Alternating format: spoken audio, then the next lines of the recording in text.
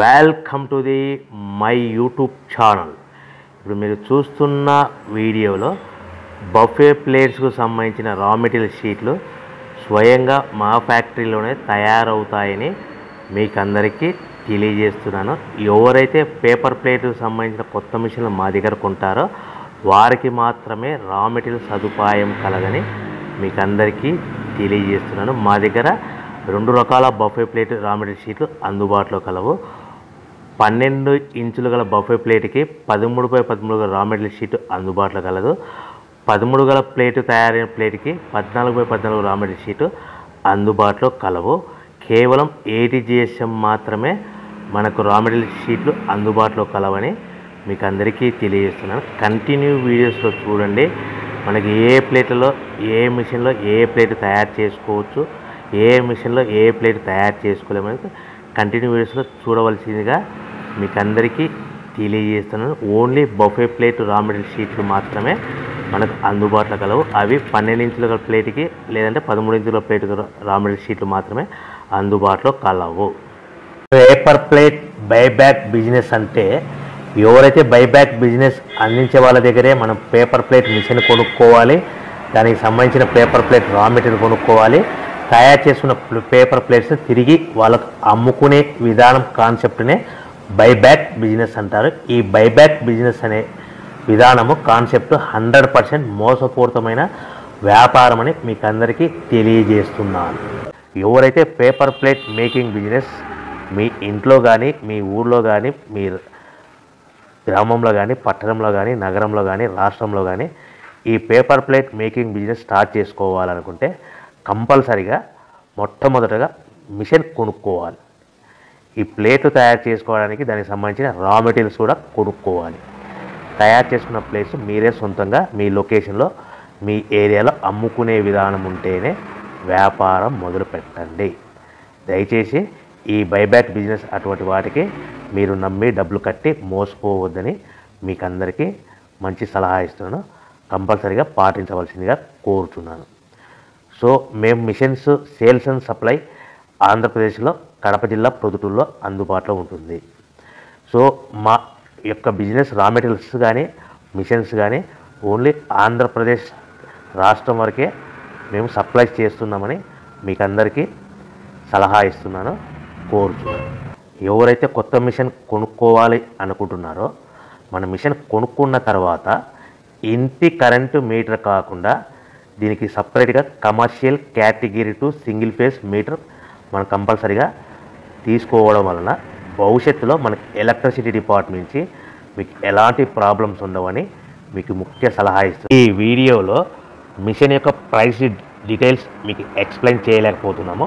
ఎందుకంటే paper plate making machines చాలా రకాల మోడల్స్ ఉన్నాయి. అవి ఎలా ఉంటాయంటే సింగిల్ ప్లేట్ మిషన్స్లో మనకు బేరింగ్ డై మిషన్స్ కానీ బ్లేడ్ డై మిషన్స్ ఉంటాయి. డబల్ డై మిషన్లో bearing die machines blade die machines ఉంటాయి. So buffet plate machines hotel parcel కట్టే మిషన్స్ ఇలా రకరకాల వేరియంట్స్ డిఫరెంట్ డిఫరెంట్ మోడల్స్ ఉంటాయి కాబట్టి మీకు పూర్తిగా ప్రైస్ డీటెయిల్స్ ఎక్స్ప్లెయిన్ చేయాలంటే ఈ వీడియోలో మీకు చెప్పలేకపోతున్నాము. సో దయచేసి మీకు ఏ రకం మిషన్ కావాలో ఎలాంటి టైప్ ఆఫ్ మిషన్స్ కావాలో స్క్రీన్ మీద కనపడుతున్న నా మొబైల్ నెంబర్ కాంటాక్ట్ చేసి డీటెయిల్స్ తెలుసుకోవాల్సిందిగా కంటిన్యూ వీడియోస్లో చివరి వరకు చూడండి. ఏ ఏ మిషన్లో ఏ ఏ ప్లేట్లు తయారు చేసుకోవచ్చు ఏ ఏ మిషన్లో ఏ ఏ ప్లేట్లు తయారు చేసుకోలేమనేది మీకు క్లియర్గా ఎక్స్ప్లెయిన్ చేస్తాను. సో పేపర్ ప్లేట్ మేకింగ్ మిషన్లో పేపర్ ప్లేట్లు మాత్రమే తయారవుతాయి. పేపర్ కప్పు మిషన్లో పేపర్ కప్పులు మాత్రమే తయారవుతాయి. పేపర్ ప్లేట్ మిషన్లు వేరు పేపర్ కప్పులు మిషన్లు వేరు అని మీకు అందరికీ తెలియజేస్తున్నాను. సో మనకు పేపర్ ప్లేట్ మిషన్లో ఖర్చులన్నీ పోను మనకు ప్రతి ప్లేట్ మీద పది పైసల నుంచి ఇరవై పైసల మార్జిన్ ఉంటాయి. సో మనకు రా మెటీరియల్ ఎంత కాస్ట్ పడుతుంది? సో మనకు రా మెటీరియల్ ఫ్యాక్టరీ నుంచి మన ఊరికి మనం తీసుకోవడానికి ప్రతి షీట్కి ఆటోలో తెచ్చుకుంటే ఎంత ఛార్జెస్ పడతాయి? సో తెచ్చుకున్న షీట్లను ప్లేట్లుగా తయారు చేయాలనుకుంటే పవర్ బిల్ ఎంత పడుతున్నది? మీకు క్లియర్గా కంటిన్యూ వీడియోస్లో ఎక్స్ప్లెయిన్ చేయడం జరిగింది. దయచేసి ఈ వీడియోని చివరి వరకు చూసి మీకు నచ్చినట్లయితే లైక్ చేయండి షేర్ చేయండి కామెంట్ చేయండి సబ్స్క్రైబ్ చేయండి. మరిన్ని మోర్ వీడియోస్ కోసం బెల్ ఐకాన్ బెల్ సింబల్ను ప్రెస్ చేయవలసిందిగా కోరుతున్నాను మీరు చూస్తున్న వీడియోలో semi automatic hydraulic single life paper plate making machine అంటారు. ఈ మిషన్లో మనము మిషన్ కొనుక్కున్న తర్వాత ఇంటి కరెంటు మీటర్ కాకుండా దీనికి separate category two commercial category two single phase meter కొత్తది కొనుక్కొని ఫిట్ చేసుకొని మీరు బిజినెస్ చేసుకోవాల్సిందిగా కోరుచున్నాను. మనం ఈ మిషన్లో ఓన్లీ బఫే ప్లేట్లు మాత్రమే తయారు చేసుకోగలుగుతాము. అలాంటి బఫే ప్లేట్లు ఏ విధంగా తయారు చేసుకోవచ్చు అనేది మీకు క్లియర్గా ఎక్స్ప్లెయిన్ చేస్తాను. ఇలాంటి రౌండ్ బఫే ప్లేట్లు బ- తయారు చేసుకోవాలనుకుంటే పదమూడు బై పదమూడు గల raw material sheet green colour raw material షీట్ను ఈ విధంగా డై మధ్యలో పెట్టి గేర్ అంటే లివర్ అంటారు దీన్ని. ఈ గేరుని లివర్ని వెనక్కి లాగిన తర్వాత ఒకటి రెండు మూడు సెకండ్లు ఆగిన తర్వాత అదే గేరుని మనం ముందుకు నెట్టాలి. ముందుకు నెట్టాలి. ముందుకు నెట్టడం వల్ల మన డై కిందికి వస్తుంది. మనకు షీటు తయారైన షీటు ఈ విధంగా మనం బయటికి తీసుకోవచ్చు. ఈ షీ ఈ round colour round green colour buffet plate పన్నెండు ఇంచులు పన్నెండు పన్నెండు బై పన్నెండు సైజు ఉంటుంది. ఈ విధంగా మనం నిమిషానికి ఐదు నుంచి పది ప్లేట్లు మనం తయారు చేసుకోవచ్చు. అది కూడా ఆపరేటింగ్ చేసే ఆపరేటర్ మీద ఆధారపడి ఉంటుంది. పర్ డే మీకు పది గంటలలో మూడు వేల నుంచి ఐదు వేల ప్లేట్ల వరకు తయారు చేసుకోవచ్చు. సో ప్రతి ప్లేట్ మీద ఖర్చులన్నీ పోను. పది పైసల నుంచి పదిహేను పైసలు పది పైసల నుంచి పదహైదు పైసలు లాభాలు వస్తాయి. ఈ రౌండ్ బఫే ప్లేట్లు మార్కెట్లో బాగా డిమాండ్ ఉన్నాయని మీకు అందరికీ తెలియజేస్తున్నాను రా మెటీరియల్ షీట్ కాస్ట్ వచ్చేసి పదమూడు బై పదమూడు సైజు గల రా మెటీరియల్ షీటు ఉదాహరణకి మీకు అర్థం అవ్వడానికి చెప్తాను. సో పదమూడు బై పదమూడు రా మెటీరియల్ షీట్ వచ్చేసి రూపాయి అరవై పైసల నుంచి రెండు రూపాయల మధ్యలో ఉంటుంది. సో ఈ రేట్లు అనేటివి వారానికి ఒకసారి పది రోజులకు ఒకసారి పెరుగుతూ ఉంటాయి తగ్గుతూ ఉంటాయని గమనించవలసిందిగా కోరుచున్నాను. ఒక షీటు మన ఇంటికి తెచ్చుకోవాలనుకుంటే పది పైసల నుంచి పదహైదు పైసలు ట్రాన్స్పోర్ట్ వస్తుంది.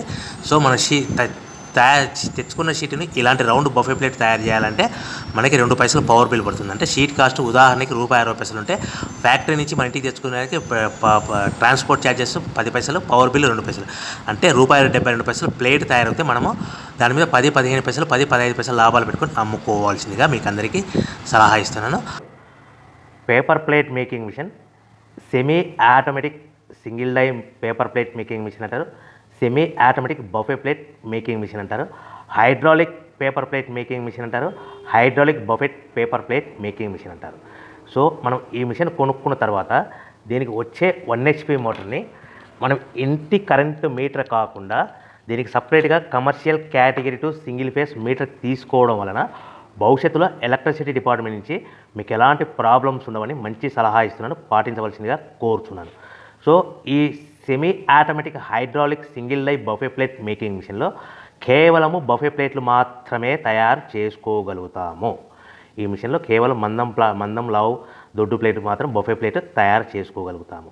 సో ఈ మిషన్లో ఎలాంటి టిఫిన్ ప్లేట్లని డోనా కప్పులని ప్రసాదం కప్పులని స్నాక్స్ ప్లేట్స్ అని టీ కప్పులని తయారు చేసుకోలేమని మీకు అందరికీ సలహా ఇస్తున్నాను.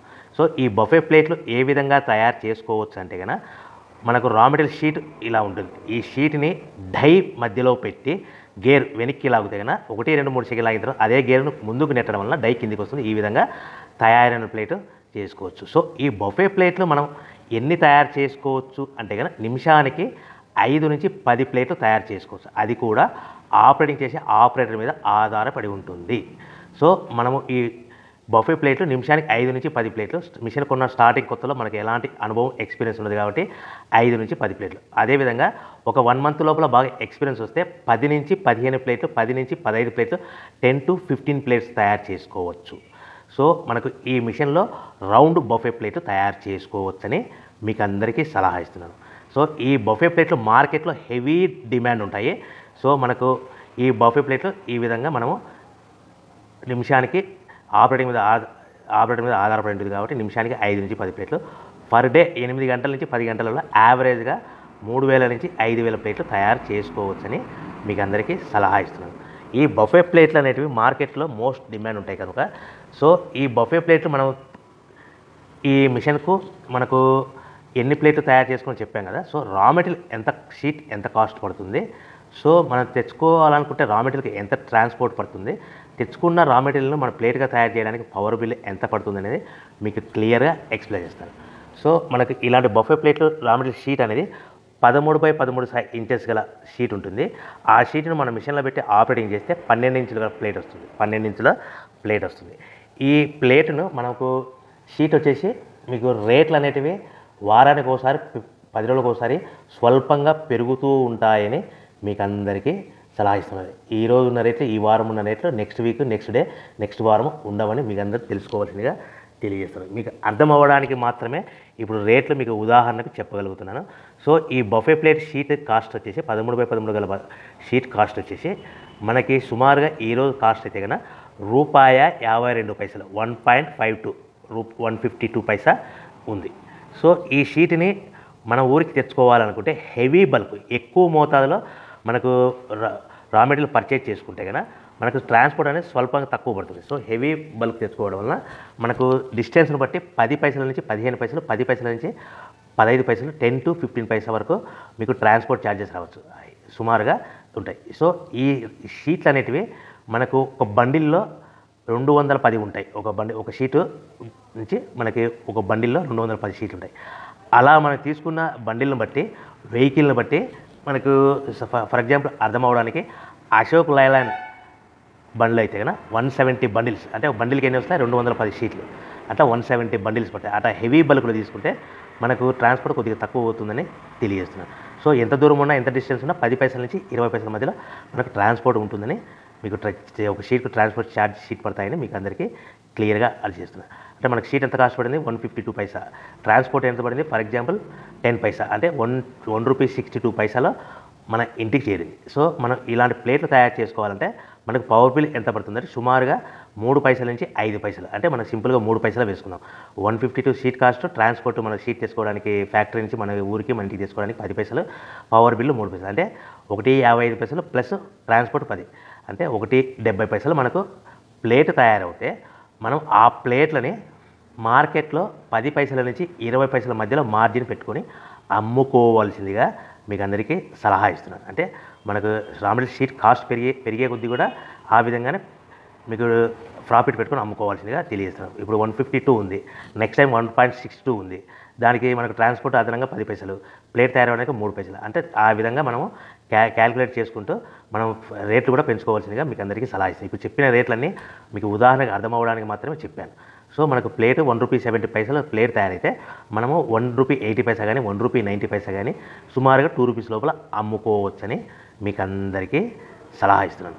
సో ఈ విధంగా తయారైన పేపర్ ప్లేట్స్ మనం ప్యాకింగ్లో ఎన్ని కట్టుకోవాలి అనేది మీకు క్లియర్గా అర్థమయ్యేలాగా చెప్తాను. సో మనం ఇలా తయారు చేసుకున్న పేపర్ ప్లేట్స్ ఒక్కొక్క ఏరియాలో ఒక్కొక్క రకంగా ప్యాకింగ్ కడతారు. ఫర్ ఎగ్జాంపుల్ పదిహేను ప్లేట్లు కట్టమన్నారు అనుకోండి థర్టీన్ ప్లేట్స్ కానీ ఫోర్టీన్ ప్లేట్స్ కానీ పదమూడు ప్లేట్లు కానీ పద్నాలుగు ప్లేట్లు కానీ ప్లస్ కవర్. కవర్ అనేది పదహారు ఇంచులు పట్టి సిక్స్టీన్ బై సిక్స్టీన్ కవర్ ఉంటుంది. ఆ కవర్లో పదిహేను ప్లేట్లు కానీ ఆర్డర్ మీద మనకు పదమూడు ప్లేట్లు కానీ పద్నాలుగు ప్లేట్లు కానీ ప్లస్ కవర్. కవర్ కూడా ప్లేట్ కింద కౌంట్ అవుతుంది. ఇరవై ప్లేట్లు అన్నారు అనుకోండి పద్దెనిమిది ప్లేట్లు ప్లస్ పద్దెనిమిది ప్లేట్లు కానీ లేదంటే పంతొమ్మిది ప్లేట్లు కానీ ప్లస్ కవర్. కవర్ కూడా ట్వంటీ ప్లేట్